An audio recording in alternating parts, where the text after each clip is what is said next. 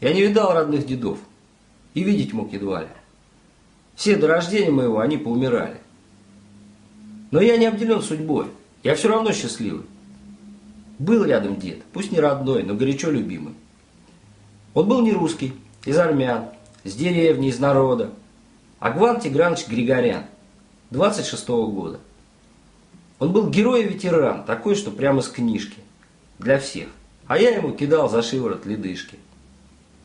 Я про войну все с детства знал.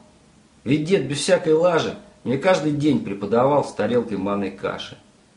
Все было так. Он мирно пас овец у Арарата. И вдруг взяла, пошла на нас немецкая армада. Чтобы ни русских, ни армян здесь не было в природе. Но тут подъехал дед Агуан. И он был резко против. Подъехал, правда, не один. Стекались, словно реки, туда и тысячи грузин, казахи и узбеки. Разноязыкую толпой они в окопы сели. И в тех окопах всей гурьбой мгновенно обрусили. Вместо овец на этот раз другие были звери. И дед в прицел свой тигра пас, крутил хвоста пантере. По-русски с ним общение шло сперва не идеально, но фразу «башню сорвало» он понимал, буквально. Я с дедом мог тарелки три съедать той самой каши, внимая, как они пошли на запад пешим маршем. И как всегда, в который раз в итоге накидали. А дальше шел такой рассказ – как в слезном сериале. Берлин, апрель, земля дрожит, снаряды, пули градом, и дед по улице бежит с трофейным автоматом. Кругом разбитые дома, как гор кавказских гребней. С собой дед опять гранат. Вдруг глядь, на куче щебня. Лежит, скулит от страшных ран, один как щепка в шторме.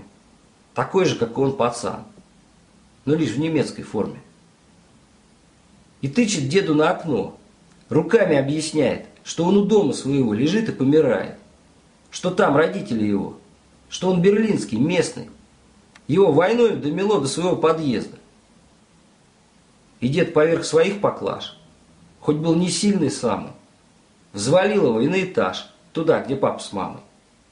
Где взрывом балку повело, где теплится лампада. Встречайте фрау своего немецкого солдата. Дед, говоря про этот миг, вдруг сразу изменялся. Про страшный материнский крик, про то, как там остался, как в кухне, где горел шандал, воды ему нагрели, как с грязью ненависть смывал за годы и недели, как спал на белых простынях среди войны и ада и видел сны о мирных днях в долине Арарата. Как утром снова он пошел к победной близкой дате, услышав сзади «Данки Шон», ответив им Прощайте. Тут я перебивал всегда. Дослушивал едва ли. Дедуня, что за ерунда? Давай, как вы стреляли. Давай, как ты горел в огне, чуть не погиб на мине. Неинтересно было мне про простыни в Берлине. Но дед что-то замолкал.